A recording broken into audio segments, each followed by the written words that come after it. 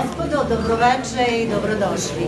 Ova izložba organizovana je povodom 20 godina postojanja i rada društva likovnih stvaralaca Vuksan. Izložena su dela 29 autora koja prezentuju likovnu scenu našeg grada.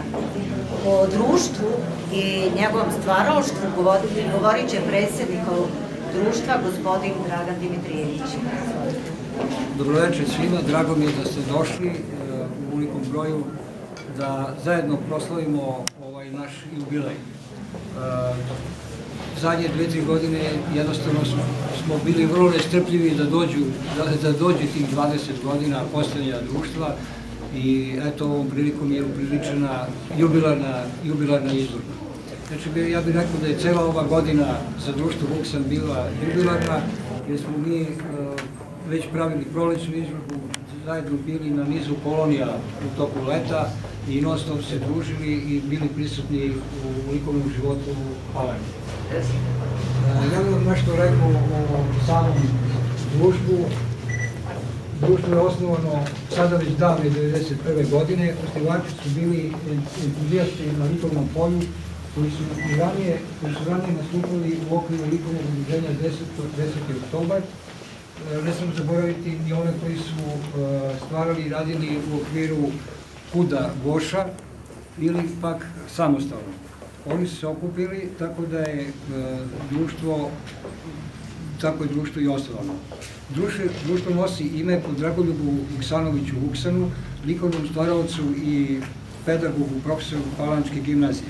Samo osnivanje društva ozvaničeno je u prostorijama kluba Otržbina kod gospodina Miodraga Vukčevića, koji je tada i e, predložio da, ime društva, da društvo nosi ime e, Vuksan po, po našem e, sugrađaninu i likovnom pedagogu.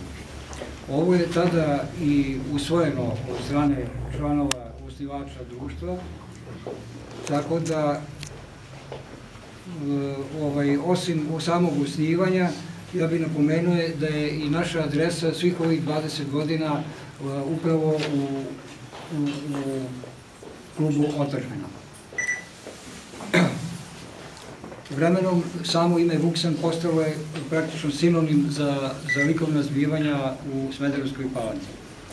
Tokom svog postojanja i rada društvo je okupljalo kako slikare sa likovnim obrazovanjem, tako i one koji su samostalno nastavili da dokuče tajne slikarskog zanata i veštine.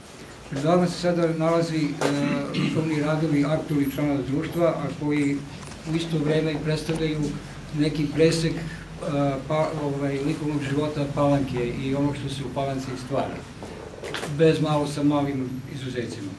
Društvo je ovaj, organizovalo značajan broj izložbi u Palanci, gostovalo je na strani, odazivalo se i učestvovalo na različitim manifestacijama i kolonijama.